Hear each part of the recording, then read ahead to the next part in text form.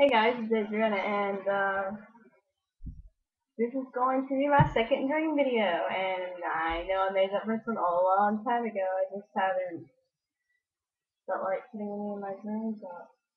I had a very weird dream last night, last this morning, so I going to bed like 2, 1, I don't know.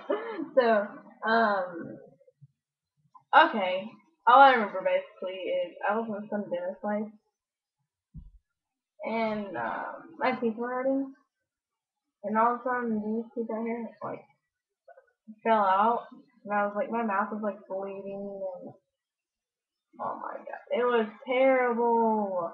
God, that's all I'm thinking about right now is that dream. I was like, and then we went out to eat, which I don't know why we did because I didn't have teeth right here. I didn't have them. So how am I supposed to eat steak, steak and salad? when I can't ha- when I can't have teeth when I don't have teeth. Uh, anyhow, there's people across the table from us, and um, they said something to. We were with somebody, and they were like, they called him a pig, and I was just like, really?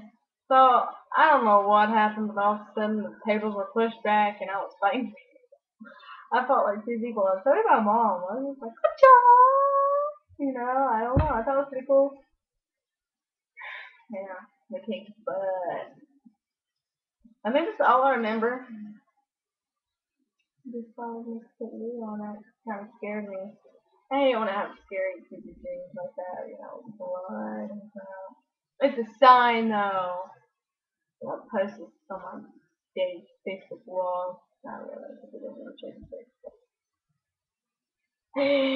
to. Yeah. I think I'm gonna go now. Hope you guys have an awesome weekend. Close to weekend. I'm going shopping today, so wish me luck. And I'll uh, catch you guys later.